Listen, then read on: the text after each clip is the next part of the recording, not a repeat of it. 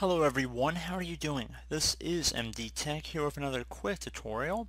In today's tutorial I'm going to show you guys how to hopefully resolve the issue you're having with tiworker.exe on your Windows computer. So this is a Windows module installer worker which is related to the Windows Update service. So we're going to go over how to hopefully resolve it by using a couple different potential fixes for it. So the first thing I would suggest would be to clear up the old Windows Update cache. In order to do that, it's going to be quite simple. We're going to first start by opening up the Start menu. Just left click on the Start button one time. Type in Services.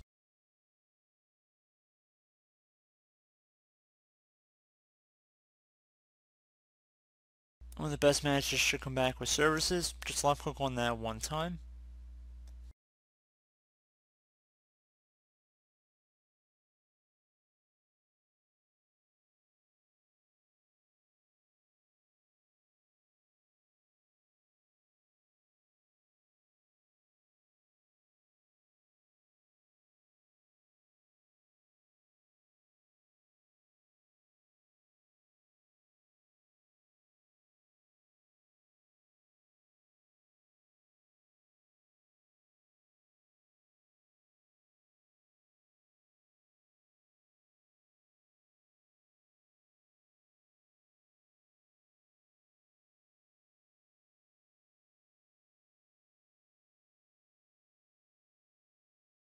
Okay, so the first thing you want to do is locate the background intelligent transfer service. Double click on it.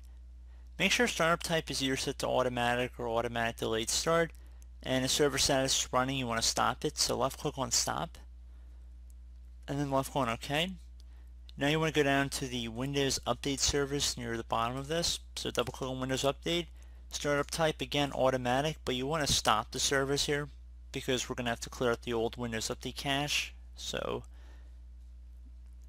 can be pretty simple, but we just want to turn that off so it doesn't interfere with this process.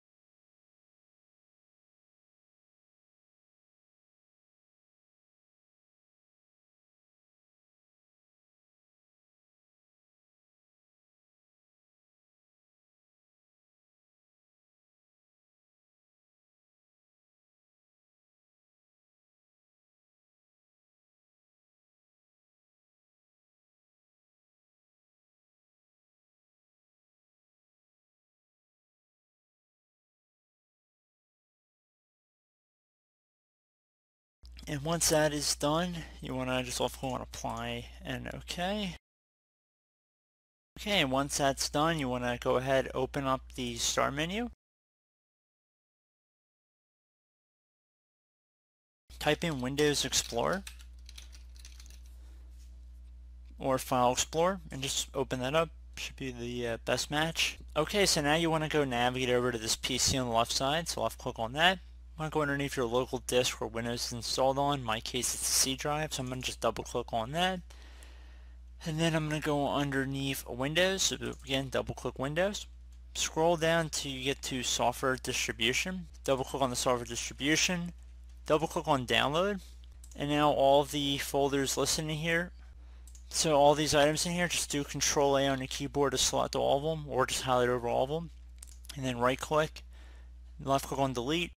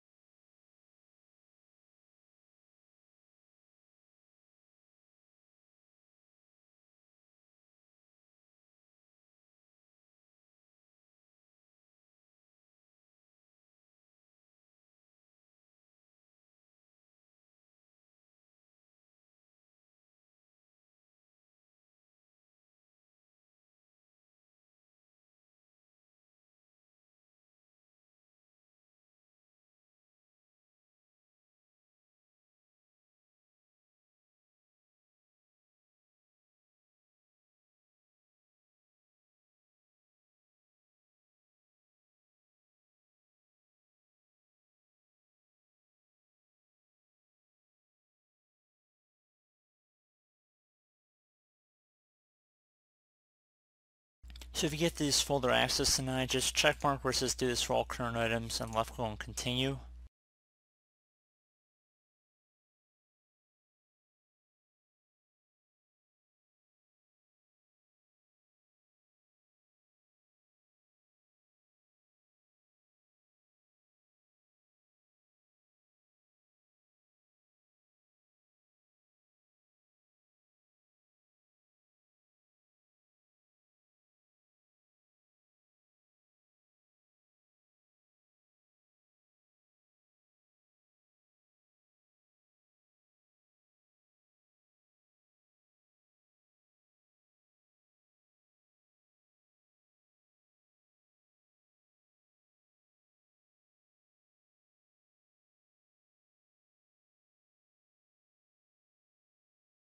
So once that's done, just close out of here. We suggest restarting your computer and check for updates and see if that has resolved the problem. So if that still didn't work for you, we're going to go in to try something else here. So after restarting your computer, try opening up the start menu, type in CMD. Best match should come back with command prompt. Right click on it, and then left click on run as administrator. If you receive a user account control prompt, left click on yes. So there's two separate commands I'm going to have in the description of the video. The first one would be a system file integrity check scanner. So the first one I would want you to try would be SFC space forward slash scan now. Scan now should all be one word attached to the forward slash. Hit enter, let it run. This will take some time to run. Alternatively, try restarting your computer after running the scan. And if that still doesn't work, try and open up another command prompt window, run as administrator. And this time, again, I'm going to have a command in the description of the video I want you guys to try out. So just copy it out of my description, go up to the top bar of the command prompt, right click on it, left click edit, and left click on paste.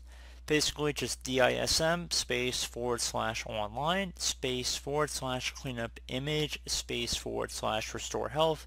When hit enter, takes some time to run again, so just be patient for both of these scans. Don't run them both at the same time like I'm showing. I just wanted to give you guys an idea.